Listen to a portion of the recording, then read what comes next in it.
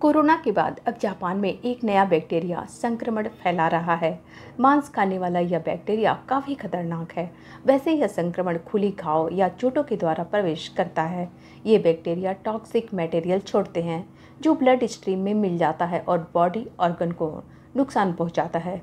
हालाँकि 99 percent bacteria हमें कोई नुकसान नहीं पहुंचाते, सिर्फ़ एक परसेंट ही खतरनाक होते हैं। ये बैक्टीरिया मानव शरीर के अंदर मांस को खाता है और यह काफ़ी जानलेवा है। एक्सपर्ट के अनुसार तेज़ी से फैलने वाला यह बैक्टीरिया जापान ही नहीं, दुनिया भर के लिए चिंता का विषय है। अब यूरोप के पाँच देशों में फैल चुका है। इससे बचने के लिए बाज़ार में जी एट नाम की वैक्सीन भी मौजूद है, जो शरीर में एंटीबायोटिक बनाती है। यह बीमारी एक व्यक्ति से दूसरे में फैलती है। लोगों को जागरूक रहने की ज़रूरत है। डब्ल्यूएचओ का कहना है, ये बेहद खतरनाक है।